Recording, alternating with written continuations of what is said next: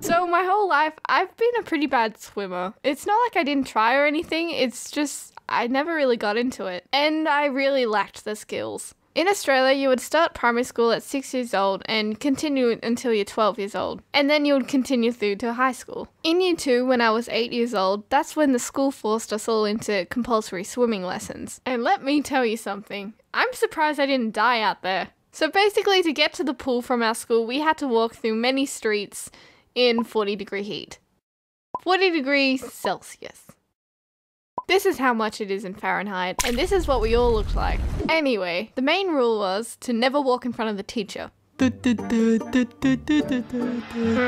are you doing? Arriving to the pool, there were two types of entries. One was the season pass line. These were the types of people that were really good swimmers and would go there all the time. They would just prance on in like, yep, I don't need to pay. and because of this, they were the first ones to get into the change rooms and get into the pool straight away. While on the other hand, there was a second gate where you had to line up and pay cash to get into the pool. This line was always filled with kids trying to find money everywhere in bags, pockets, the ground, just trying to scrape up enough money to try and get in.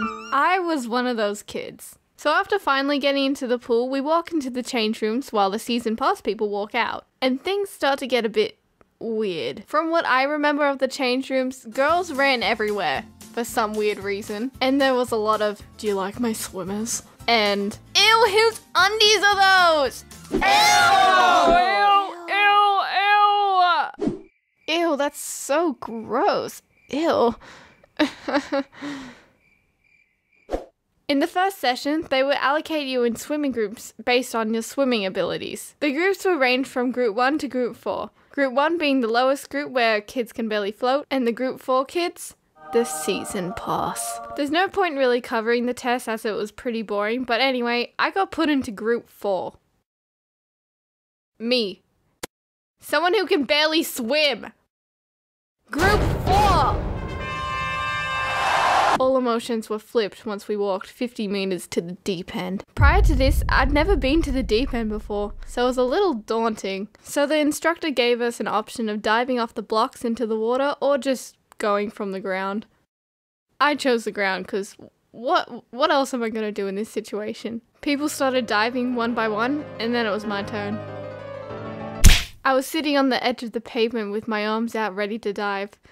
I had no idea what I was doing. My body hits the water with a huge slap, and my goggles just filled up with water. As soon as I hit the water, I realized what was happening. I splashed everywhere around trying to get to the surface, and I immediately went to the wall. You alright? I can't swim, help!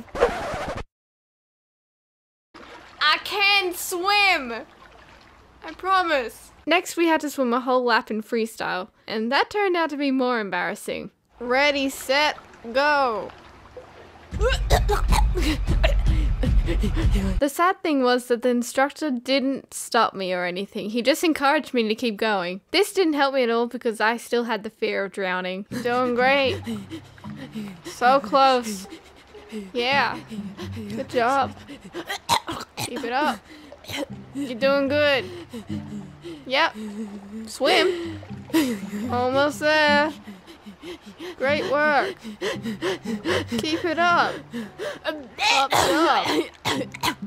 Congrats. So I managed to finish the whole lap, which was pretty surprising, but by the end of it, my muscles were aching so much. I just wasn't cut out for it. I wouldn't have lasted much longer out there.